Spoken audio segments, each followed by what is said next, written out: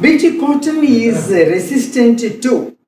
BT cotton is resistant to. Come on. It is resistant to what?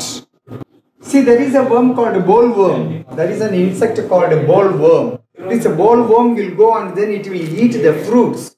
It will eat the fruits.